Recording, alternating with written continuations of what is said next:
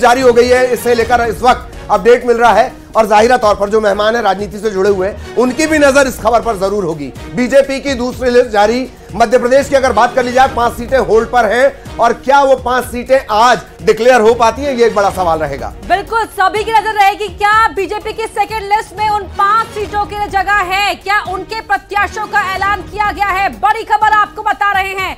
BJP ने second list जारी कर दी है, लेकिन इन सेकेंड लिस्ट में बालाघाट से भारती पारधी का नाम। सेकेंड लिस्ट की अपडेट आपको दे रहे हैं। बालाघाट से भारती पारधी को चुनावी मैदान में उतारा है। भारतीय जनता पार्टी ने बड़ी खबर आपको बता रहे हैं। बीजेपी की सेकेंड लिस्ट से जुड़ी हुई। हालाँकि यहाँ पर बिसेन की बेटी का नाम निकलकर सामने आ रहा था, लेकिन अब ये बड़ा अपडेट आपको बता दें। बालाघाट से भारती पारधी को मौका दिया गया। उज्जैन से अनिल फिरोजिया। रिपीट। उज्जैन से अनिल फिरोजिया और ये हमारे मुख्यमंत्री जी का गढ़ है। और छिंदवाड़ा से यहाँ छिंदवाड़ा से भी नाम सामने आ गया है। छिंदवाड़ा से किसको दिया है टिकट आपको बताते हैं। थोड़ी देर में बालाघाट से भारती पारदी उज्जैन से अनिल फिरोजिया को भारतीय जनता पार्टी ने टिकट दिया है। छिंदवाड़ा से विवेक बंटी साहू को टिकट मिला है। लीजिए लगातार विवेक बंटी साहू। बार बार कांग्रेस को, चाहे पिता हो, चाहे पुत्र हो, उन्हें मुकाबला दे रहे हैं, उन्हें टक्कर दे रहे हैं। विवेक बंटी साहू युवा के तौर पर अपनी पहचान बना चुके हैं। वो कह रहे हैं कि ठीक है, अगर कमलनाथ को बेटे की तरह इंट्रोड्यूस किया गया, अब आपका यह बेटा आपसे मौका चाहता है। छिंदवाड़ा से विवेक बंटी साहू। और ये तीन सीटें हो गई। उज्जैन हो गया बालाघाट हो गया छिंदवाड़ा हो गया। धार से सावित्री ठाकुर को उम्मीदवार बनाया है। सावित्री ठाकुर पर अपना विश्वास महिला प्रत्याशियों को बीजेपी ने इस बार आगे किया है ललित। पहली लिस्ट अगर देख ली जाए पहली लिस्ट इंदौर से शंकर लालवानी रिपीट ये नाम लगभग तय था न्यूज़ एटीन लगातार ये आपको बता रहा था। हालाँकि बिल्कुल। और कहा गया बहुत पीछे बयान आए ट्विस्ट आए वापस लिए गए लेकिन शंकर लालवानी के नाम पर मोहर लगा दी है। और कल मेरा ख्याल है आप इसे जोड़ भी रही थी सीए को लेकर इन्होंने बड़ा काम किया। बिल्कुल सीए को लेकर लगातार यहाँ पर आवाज़ उठा रहे थे और उसी का फ़ायदा मिला शंकर लालवानी के नाम पर वापस से मोहर वापस से भरोसा। हालाँकि बीच में कैलाश विजयवर्गीय ने जो बयान दिया, उससे थोड़े संशय की स्थिति बन गई। लेकिन आखिरकार शंकर लालवानी, और जैसे ही सीए का ऐलान हुआ यह लगभग तय मान लिया गया, इंदौर सीट और उज्जैन। इस पर दरअसल बीजेपी के लिए पेज बहुत ज़्यादा थे। भाई और ताई एक फैक्टर यहाँ पर काम करता है। पुराने सांसद को रिपीट करने का एक फैक्टर यहाँ पर काम करता है। महिलाओं को टिकट देने का एक दबाव भी था। एक में से याद करिए, पिछली लिस्ट मैं अपना आपको बताऊँ कि तकरीबन 20 फ़ीसद महिलाओं को टिकट दिया गया बिल्कुल, शंकर लालवानी के नाम पर संशय जताया था कैलाश विजय ने, लेकिन दिल्ली पहुँच गए शंकर लालवानी और टिकट देखिए, पक्का यहाँ पर हो गया है। सीए के लेकर आवाज़ उठाने का फ़ायदा मिला और यहाँ लगातार धार से सावित्री ठाकुर पर भरोसा। उज्जैन से वापस सिटिंग एमपी को अमित फिरोजिया को टिकट दिया है बीजेपी ने। वापस विश्वास दिखा है। पाँच की पाँच सीटें जो होल्ड पर थी, वो डिक्लेयर हो गई है। तो लगातार जो उज्जैन से नाम निकलकर सामने आ रहा था, ग्राफिक्स के ज़रिए हम आपको बता रहे हैं जो नाम उज्जैन से निकलकर सामने आ रहा था, एक जाटवा सरनेम आपने सुना होगा, डॉक्टर प्रभुलाल जाटव है, और वो बहुत करीबी माने जाते हैं डॉक्टर मोहन यादव के। इसके चलते फैसला आलाकमान ने लिया और मौका अनिल फिरोजिया को। धार से सावित्री ठाकुर मैदान में इंदौर से शंकर लालवानी मैदान में छिंदवाड़ा से विवेक बंटी साहू। एक तरह से पिछली बार नथन शाह यहाँ पर थे और वोट का परसेंटेज यानी तकरीबन तीस हज़ार का आ, विनिंग मार्जिन था। इस लिहाज से अगर देखा जाए तो क्या विवेक बंटी साहू उस जगह तक पहुँच पा रहे हैं? जीत पा रहे हैं? ये सब जनादेश की बातें। ये आगे क्लियर होगा। विवेक बंटी साहू छिंदवाड़ा से, सावित्री ठाकुर धार से, भारती पारधी बालाघाट से। यहाँ से नाम मौसम बिसेन का भी चल रहा था, जिन्हें विधानसभा का टिकट दिया गया। लेकिन खड़े उनके पिता हुए। एन वक्त पर मौसम बिसेन की तरफ़ से यह पता चला कि साहब वो बीमार है। उनका भी नाम यहाँ से चल रहा था, बालाघाट। ये पारंपरिक सीट है इस परिवार की। तो धार से सावित्री ठाकुर पर अपना विश्वास पार्टी ने यहाँ दिखाया है। पहले भी सांसद रह चुकी हैं सावित्री ठाकुर और अब एक बार फिर चुनावी मैदान में बीजेपी ने ये पाँच सीटें होल्ड पर थी। पहली लिस्ट में 24 सीटों के नाम थे और अब सेकेंड लिस्ट में बची हुई पाँच सीटों के नाम यहाँ सामने आ गए शैलेंद्र चौहान हमारे सहयोगी जुड़ गए शैलेंद्र, बीजेपी की सेकेंड लिस्ट और पाँचों के पाँच नाम डिक्लेयर एमपी के लिए बचे जो बचे जो हुए थे। हाँ देखिए, बिल्कुल जो तिरयालीस नामों की सूची जारी उसमें मध्य प्रदेश के बाकी पाँचों नाम घोषित हो चुके हैं। और जो कि चर्चा थी कि पाँच सीट में से दो महिला उम्मीदवारों को और बीजेपी टिकट देगी तो वो टिकट आज दिए गए हैं धार से सावित्री ठाकुर, जो कि 2014 में सांसद थी। उन्होंने नेता प्रतिपक्ष, जो कांग्रेस के उमंग सिंगार, उनको चुनाव हराया था। एक बार फिर से उन पर भरोसा जताया। तीन बार के सांसद छतर सिंह दरबार का टिकट काटा है यहाँ पर। सावित्री ठाकुर को फिर से मौका मिला इसी तरह बालाघाट से चौंकाने वाला नाम डॉक्टर भारती पारदी को टिकट दिया गया है। पारदी काफ़ी समय से सक्रिय रही संगठन में और अभी तक कोई बड़ी प्रोफ़ाइल नहीं थी, लेकिन उन्हें सांसद का टिकट देकर पार्टी ने चुका है। यहाँ पर गौरी शंकर बिसेन की जो बेटी है, मंत्री पूर्व उनकी मौसम बिसेन का नाम सबसे आगे था, लेकिन उनकी जगह डॉक्टर भारती पारदी को टिकट दिया गया। या भाजपा के प्रदेश अध्यक्ष वैभव पवार का भी नाम था, लेकिन पार्टी ने यहाँ पर भारती पर भरोसा जताया। इसीलिए सबसे बड़ी हॉट सीट जो मध्य प्रदेश की इंदौर इंदौर को लेकर काफ़ी कवायद थी कि यहाँ पर कोई महिला चेहरा हो सकता है, लेकिन यहाँ पर पार्टी ने एक बार फिर से सांसद शंकर लालवानी पर भरोसा जताया है, और शंकर लालवानी यहाँ पर पिछले चुनाव में भी काफ़ी बड़े मार्जिन से जीते थे, और एक बार फिर उन्हीं को पार्टी ने टिकट दिया है। और दूसरा टिकट उज्जैन से भी रिपीट हुआ है जो अनिल फिरोजिया, उन्हें वापस से टिकट दिया गया है। फिरोजिया के नाम को लेकर भी काफ़ी असमंजस की स्थिति थी, लेकिन एक बार फिर संगठन की राय के बाद, सलाह के बाद उन्हें ही मौका दिया गया है। तो यहाँ पर जो पाँचों चेहरे हैं, छिंदवाड़ा के ज़रूर हम बात करेंगे। छिंदवाड़ा में कमलनाथ के जो बेटे नकुलनाथ, उनके सामने यहाँ पर विवेक बंटी साहू को मौका दिया गया है। विवेक साहू यहाँ जिला अध्यक्ष हैं बीजेपी के। और दूसरी बड़ी ये बात है कि उन्होंने कमलनाथ को चुनाव में काफ़ी कड़ी टक्कर भी दी थी। तो यहाँ पर बंटी साहू अब नकुलनाथ के सामने होंगे काफ़ी यहाँ पर टक्कर देखने को मिलेगी चुनाव में, और ये लग रहा है। बिल्कुल ये बात सही है आपकी कि छिंदवाड़ा में टक्कर देखने को मिलेगी विवेक बंटी साहू। जैसा कि आपने ज़िक्र किया कमलनाथ के खिलाफ भी लड़ चुके हैं पिता के खिलाफ लड़ चुके हैं पुत्र के खिलाफ अब लोकसभा में रहेंगे। आ, एक और बात जो समझ से परे है इंदौर को लेकर मेरा मेरा ख्याल है ऐसा शैलेंद्र राजनीति के जानकार ऐसा कहते हैं कि वहाँ के भाईताई के समीकरण और इन सबसे इतर क्या सी ए का भी इफ़ेक्ट है? क्योंकि सांसद शंकर लालवानी तब सवालों के घेरे में आ गए थे जब बावड़ी कांड हुआ था। इसके बाद यह माना जाने लगा था कि नाराज़गी है उन्हें लेकर। लेकिन सीए के ऐलान ने उन्हें एकदम पुशअप कर दिया ऊपर कर दिया। शैलेंद्र। ललित बिल्कुल देखा आपने बिल्कुल सही बात कही है। यही बात है आ, हमने संगठन से भी कुछ नेताओं से बात की थी आ, क्योंकि यहाँ पर बार बार ये बात आ रही थी कि इंदौर से किसी महिला चेहरे को टिकट दिया जा सकता है। अगर आपने कैलाश विजयवर्गीय का बयान सुना हो, राष्ट्रीय महासचिव, उनके मुँह से भी ये बात निकली थी कि यहाँ पर शंकर लालवानी का टिकट तो कट गया कोई महिला को मिल सकता है।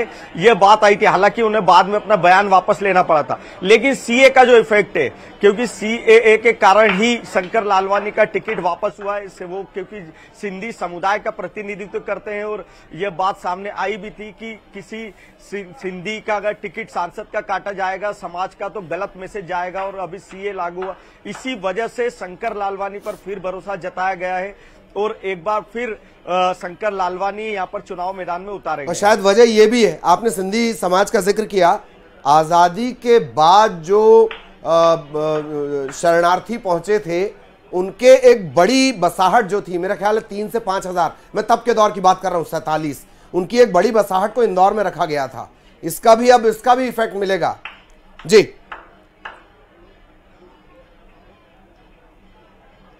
जी, बिल्कुल बिल्कुल, ये यही बात है। हमारे साथ अभी यहाँ पर सिंधी नेता हैं, बड़े जो भाजपा के प्रवक्ता भी रहे प्रकाश मीरचंदानी भी मौजूद है। हम उनसे भी बात करते हैं, ये भी काफ़ी समय से यहाँ पर प्रतिनिधित्व करते रहे। एक बार फिर इंदौर से शंकर लालवानी को टिकट दिया, सिंधी समाज की मांग भी थी कि उन्हें टिकट दिया जाए। देखिए, शंकर लालवानी जी सिंधी समाज के सीनियर लीडर रहे हैं और भारतीय जनता पार्टी में भी बहुत वरिष्ठ नेता हैं। और उनका जो कार्यकाल रहा, मुझे लगता है कि अच्छा कार्यकाल रहा है। और तमाम बार उन्होंने सिंधी समाज की बातें पार्लियामेंट के अंदर रखी हैं। उन्होंने जैसे अपनी शपथ भी जो सांसद की थी, वो सिंधी भाषा में जाके ली थी उन्होंने। और एक दो बार उन्होंने सिंधी में वक्तव्य, सिंधी समाज की मान सम्मान को करने की दृष्टि से अपने वक्तव्य भी सिंधी में, वहाँ पर लोकसभा में माननीय अध्यक्ष जी से अनुमति से लेकर पढ़े हैं। तो निश्चित रूप से एक सुयोग्य व्यक्ति हैं, अच्छे हैं, इंदौर को सब सबको साथ में लेकर चलते हैं। इंदौर के लिए काफ़ी काम कर रहे हैं और माननीय कैलाश जी से भी उनकी अच्छी ट्यूनिंग है और सरल मृदभाषी और सरल व्यक्ति हैं। और कैलाश जी ऐसे व्यक्तियों को पसंद करते हैं और जहाँ कैलाश जी को भी पता चला था कि शंकर का शायद टिकट नीचे ऊपर हो रहा है तो उन्होंने वहाँ उनकी मदद भी करी है ये मेरी जानकारी में है और इसीलिए अच्छा हुआ है जो भी हुआ अच्छा हुआ है। देखिए बिल्कुल। बिल्कुल और अब, सही कहा आपने शैलेंद्र और यही वजह है कि अब चूँकि एकदम से अचानक से ये मामला भी सामने आ गया है और ये भी सही है कि उन्होंने सिंधी भाषा में वक्तव्य दिए शपथ ली। ये वाकई जो बड़ी बात है उस लिहाज से और उन्हें ही टिकट मिला है। एक बात और है कि धार के जो राजनीतिक समीकरण है, अब वो किस तरह से हो जाएँगे शैलेंद्र बहुत शॉर्ट में प्लीज़ हाँ देखिए बिल्कुल धार को सावित्री ठाकुर के लिए धार नया नहीं है। वो धार में 2014 हाँ, में जीती थी और उन्होंने जो नेता प्रतिपक्ष उमंग सिंगार जो अभी यूथ चेहरा है जो कांग्रेस के दो बड़े चेहरे जीतू पटवारी उमंग सिंगार उन्हीं उमंग सिंगार को बड़े चुनाव में हराया था। तो सावित्री ठाकुर अब पिछ, पिछले चुनाव में टिकट कटा लेकिन वो किसी कंट्रोवर्सी में नहीं है। बड़ा आदिवासी चेहरा है और उनकी एक अच्छी पकड़ है और सामान्य चेहरा है। और कहीं ना कहीं बीजेपी की एक रणनीति भी थी कि महिला नेत्रियों को मौका देना है। तो जब समीकरण सारे बदले तो सावित्री ठाकुर उसमें फिट बैठी। हाँ। और अगर बात करी जाए तो यहाँ पर जो विधानसभा चुनाव हुआ था चार महीने पहले इन सब के बीच बड़ा संकट बीजेपी के सामने ये आया क्या इसमें एड ऑन करने की ज़रूरत है? कि इंदौर खंडपीठ ने कहा है कि धार भोजशाला का एएसआई सर्वे होगा। यह बड़ा गेम चेंजर है।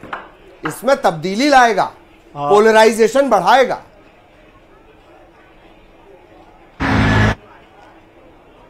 बिल्कुल, देखिए, धार भोजशाला को जो हाईकोर्ट का जो फैसला आया, उसके वापस से सर्वे सर्वे होगा। तो निश्चित ही धार भोजशाला एक बड़ा वहाँ गर्म मुद्दा रहा है। और पिछले कई दशकों से वहाँ पर भोजशाला को लेकर कहीं ना कहीं सामाजिक एक वो माहौल रहा है कि वहाँ पर सांप्रदायिक कई बार हिंसा भी हुई। तो निश्चित ही इस बार का चुनाव से ये भोजशाला मुद्दा सबसे गर्म रहेगा और अब सावित्री ठाकुर को बिल्कुल तो धार तो बीजेपी की रणनीति को और धार देने का काम करेगा। धार गौशाला को हिंदू समाज जो है माँ वागदेवी का मंदिर मानता है और ज़ाहिर तौर पर अब सियासी सुगबुगाहट बढ़ेगी तो इस मामले पर चर्चा और बढ़ेगी। पुनीत भी लगातार जुड़े हुए हैं। पुनीत पवन गौड़ आपको टीवी स्क्रीन पर दिख ही रहे होंगे। बिल्कुल बिल्कुल बिल्कुल मेरा सवाल सवाल है पवन से। पवन ये पहले कहा जा रहा था कि मध्य प्रदेश की जो पाँच सीटें होल्ड की गई हैं इसमें जो टिकट वितरण है इस पर काफ़ी कवायद करनी पड़ेगी और कैलाश विजयवर्गीय ने तो इशारों इशारों में ये तक कह दिया था कि टिकट कटने वाला है और महिला को टिकट मिलेगा या कोई सेंट्रल से कोई केंद्रीय नेतृत्व कोई यहाँ पर आ सकता है उतर सकता है। लेकिन सारी बातें बाद में हालाँकि उन्होंने कहा कि मैं तो मज़ाक कर रहा था और ये उनकी बात सच निकली कि मज़ाक ही हुआ और टिकट मिल गया शंकर लालवानी को।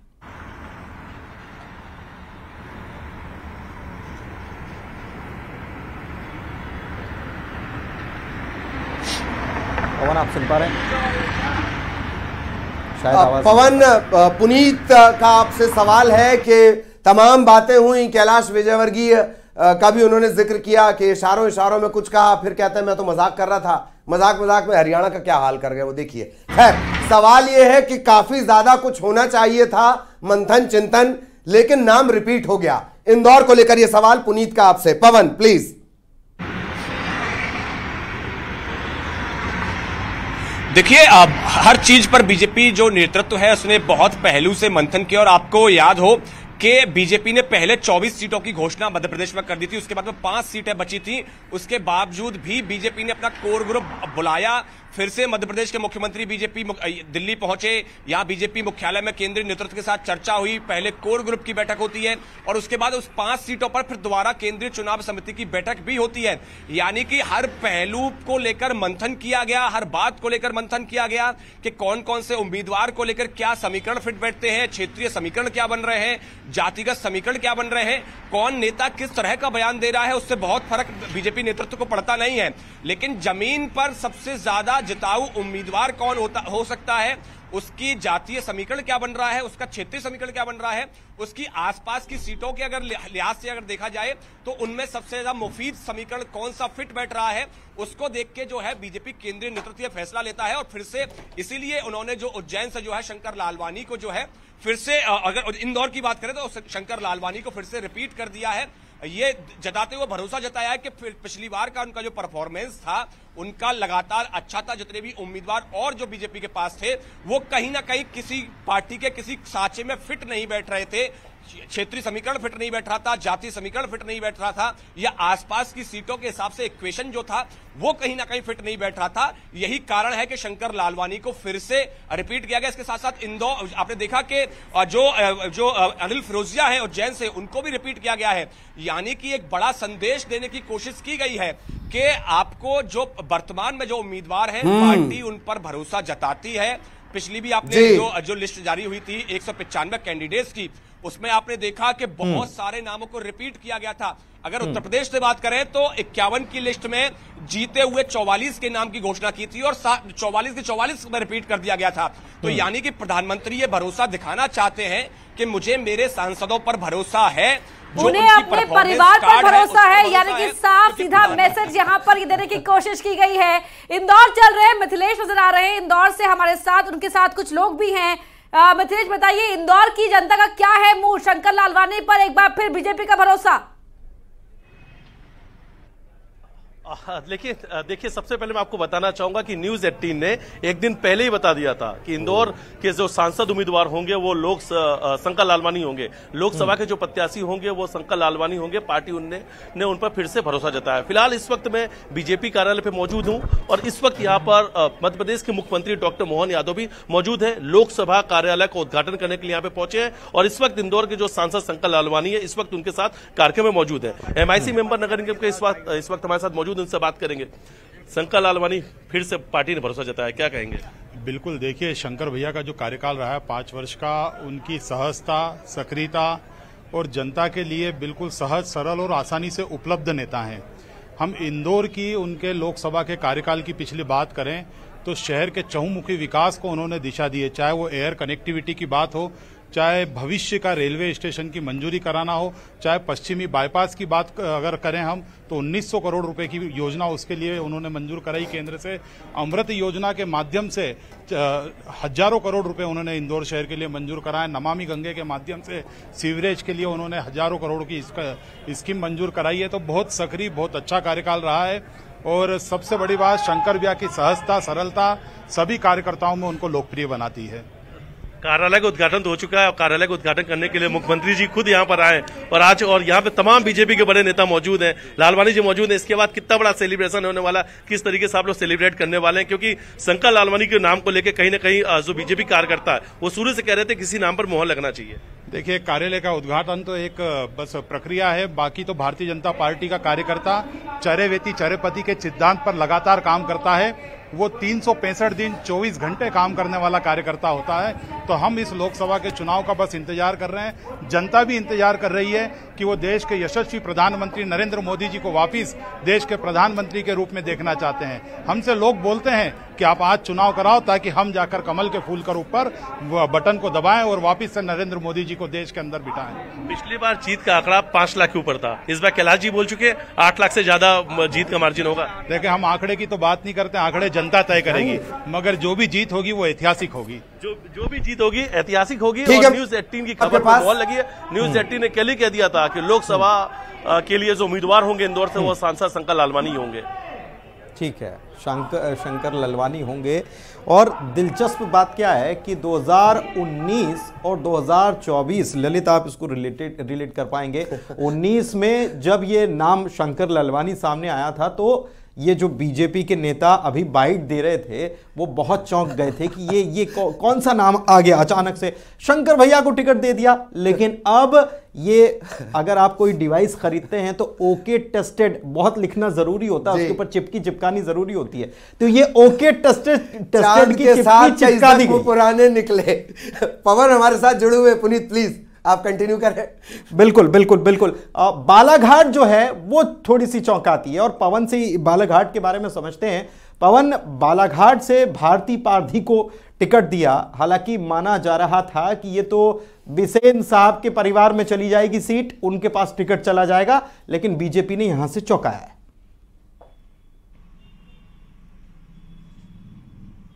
बिल्कुल, बालाघाट के लिए ज़्यादा चर्चा यही हो रही थी कि मौसमी बिसेन को या तो टिकट दिया जाएगा या हो सकता है गौरी शंकर बिसेन को, और जिसको लेकर के चर्चा भी थी, और जब लिस्ट आई थी पहली लिस्ट, उसमें जब पाँच शहरों के नाम रोके गए तो उस समय ये कयास और ज़्यादा बढ़ गए थे, बल्कि बीजेपी में भी यही चर्चा थी कि शायद बिसेन परिवार के कारण ही इस नाम को होल्ड पर रखा गया है। लेकिन आज ये है, क्लियर कर दिया गया है कि बिसेन परिवार को मौका नहीं दिया, लेकिन जो नाम आया है, महिला को टिकट दी गई है तो कहीं ना कहीं बीजेपी की मंशा स्पष्ट है कि महिलाओं को प्राथमिकता देने का प्रयास किया जा रहा है और जहाँ संभव होगा वहाँ महिलाओं को टिकट भी दी जाएगी। तो अब जो है ये संशय खत्म हो। गया है और कहीं ना कहीं इससे हो सकता है बिसेन परिवार नाराज़ हो लेकिन बीजेपी का खेमा जो है वो उत्साहित है कि महिलाओं को आगे बढ़ा रहे हैं और मोदी जी के वादे को पूरा करने का प्रयास किया जा रहा है। जी जी जी। चलिए मैं मैं आपको इस वक्त रोकना चाहूँगा। बेहद खास पैनल भी हमारे साथ बनी हुई है। और युवराज पोखरना साहब हमारे साथ बने हुए राजनीतिक विश्लेषक हैं। स्वागत है आपका। सरमन सर लगातार बने हुए हैं। इसके अलावा रविंद्र तोमर साहब, पूर्व विधायक हैं, आप कांग्रेस के, वो भी हमारे साथ बने हुए हैं। तोमर साहब का भी बहुत स्वागत। अगर छोटे जवाब मिलेंगे तो ज़्यादा सवाल लिए जा सकेंगे। लेकिन सबसे पहले युवराज पोखरना साहब के पास मैं आना चाहूँगा। सबसे पहले ये जो लिस्ट आई है, भले ही पाँच नाम इसमें है इसको लेकर एक क्विक रिएक्शन फिर अगला सवाल रहेगा। जी। बॉस, ये जो लिस्ट में देख रहा हूँ, मुझे बहुत ज़्यादा आश्चर्य नहीं हो रहा। मैं अभी कुछ दिनों पहले, कुछ महीनों पहले जो विधानसभा चुनाव हुए आंकड़ों की बात कर लेते हैं। लगभग उन पचास प्रतिशत वोटर बेस है जो बीजेपी का है। एक प्रतिशत वोट मिला था नोटा को और समाजवादी पार्टी को मिला था आधा प्रतिशत। छियासठ सीट ऐसी थी जहाँ आम आदमी पार्टी लड़ी और जमानत जब्त होगी उनकी। तो ये जो मैच था it was between BJP and Congress Congress का वोट प्रतिशत था चालीस परसेंट।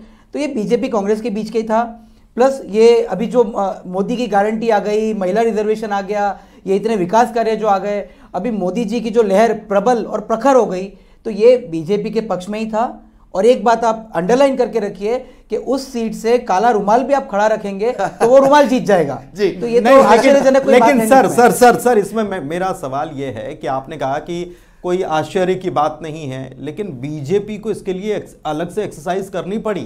नाम तो रिपीट हैं सीटों पर लेकिन एक्सरसाइज करनी पड़ी। इसका मतलब कि बीजेपी को कहीं कुछ लग रहा होगा इसलिए तो होल्ड की गई और आज फिर नामों का ऐलान होगा। सर वो ऐसा है कि शादी आप दस हज़ार में करो या दस करोड़ में करो एक तो फूफा नाराज़ होना ही होना है।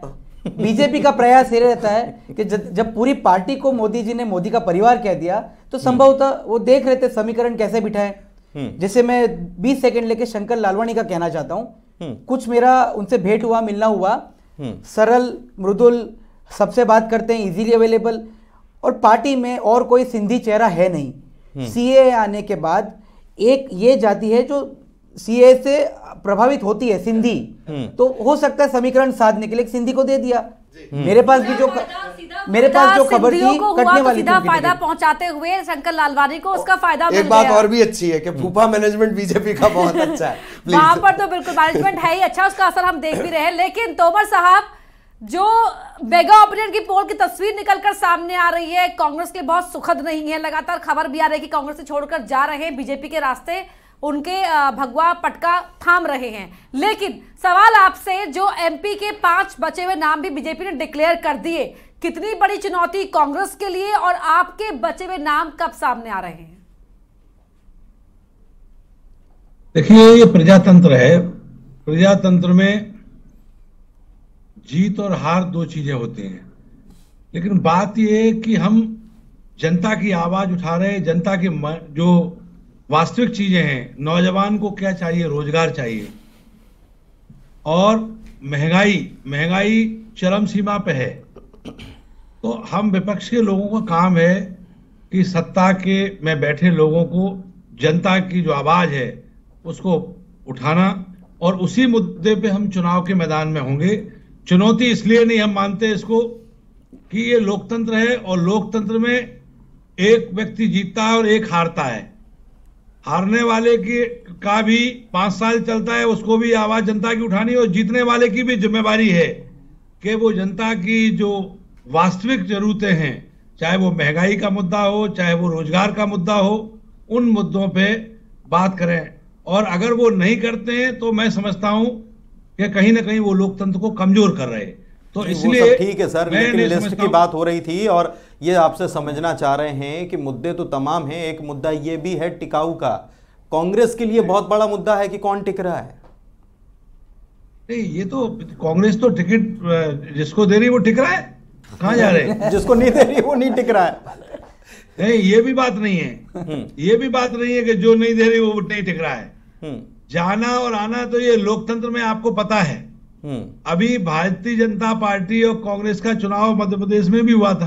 हम्म, दो ही दल है प्रमुख रूप से जो चुनाव लड़ रहे हैं वहाँ। लेकिन उसमें जब ये प्रचार था जनता में चर्चा थी आम चर्चा थी कि मध्य प्रदेश में कांग्रेस की सरकार बनेगी। कोई जीते हारे कांग्रेस सरकार बनेगी। हम्म, तो तमाम भाजपा के लोग कांग्रेस में शामिल हो रहे थे।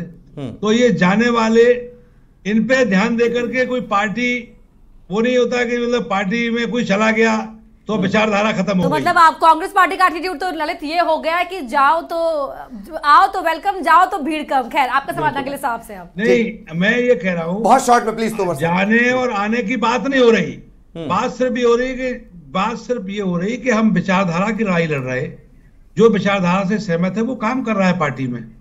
अगर वो कोई जाने हाँ। वाला है तो हम अ, उसको ये चलिए, कि मतलब हम उसके। पीछे पड़ जाए। आएँगे, आएँगे। बात ये है कि अगर कोई व्यक्ति हमारे मैं आपको रोकना चाह रहा हूँ। तोमर साहब तो हमने मना कब किया? मैंने कहा था छोटे छोटे जवाब चाहिए। सरमन सर बहुत शॉर्ट में पाँच नाम का ऐलान हुआ आपका क्विक रिएक्शन बहुत शॉर्ट में सर प्लीज़ देखिए पाँचों नाम की जो घोषणा हुई है अच्छे नाम है बहुत प्रभावी नाम है और चूँकि चुनाव नरेंद्र मोदी जी की क्रेडिबिलिटी उनके ब्रांड के ऊपर लड़ा जा रहा है तो किसी को भी उम्मीदवार बना दे जैसा कि न्यूज़ 18 के सर्वे में भी आए उसके पहले के भी सर्वे में कि मध्य प्रदेश में भारतीय जनता पार्टी 28 की 28 सीटें तो जीत भी रही है 29 में भी जीतने की संभावना है। तो इसलिए जो कैंडिडेट आए अनिल फिरोजिया जी ये हैं या सावित्री ठाकुर हैं या बंटी साहू हैं। या भारती पारदी जी हैं ये अच्छे कैंडिडेट हैं और ये बहुत ज़मीन पर इनकी मज़बूत पकड़ है। वो बात वही युवराज जी ने भी कहा था कि काला रुमाल आप करवा दीजिए तो भी जीत मिलेगी। बिल्कुल, और ये खास जो हमारे जो मेगा ओपिनियन पोल है, ये लगातार जारी है। आप सभी हमारे साथ जुड़े।